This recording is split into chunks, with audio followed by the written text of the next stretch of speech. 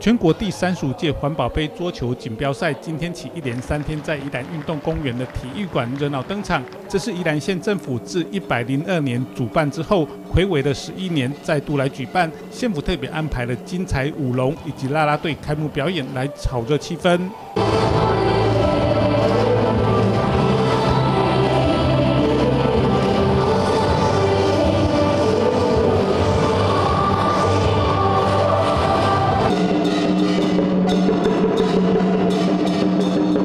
全国第三十五届环保杯桌球锦标赛，包括有中央机关以及各县市共有四百多位的环保人员组队参赛。在选手宣誓时，也特别派出了男女两位选手来进行宣誓，象征性别平等。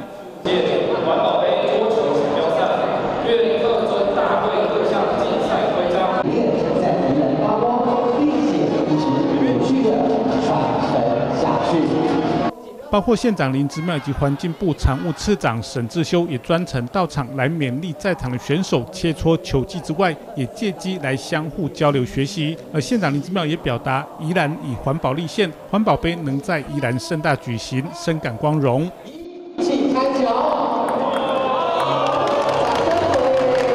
宜兰县呢，咱环保立县啊，环保呢，爱护地球是人人的责任，所以呢，我们让呢地球更美好。啊，更好，更好，啊，所以呢，全国呢，啊，零碳排的就在我们的宜兰县大同乡，不但零碳排，而且负碳排，所以呢，这个非常的不简单，啊，我们希望呢，大家能够身体健康，那要健康的因素，呃，环境要好，然后呢，要多多的运动，那运动呢，能够让我们呢更健康，所以呢，非常欢迎所有的乡亲好朋友。哦，我们有健康的身体，才有幸福的家庭，国家才会强壮。啊，极端气候的影响，过去这两年来，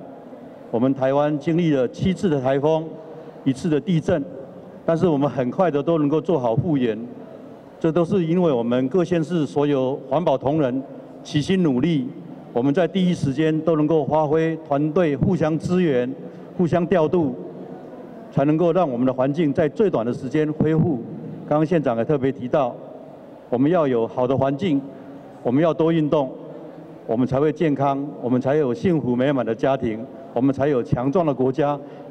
这次全国环保杯桌球锦标赛共有二十七个单位组队参加，比赛分为首长个人、团体男子甲、团体男子乙以及团体女子等四组。赛事是精彩可期，也欢迎乡亲前往宜兰县立体育馆为选手们来加油打气。宜兰正赛。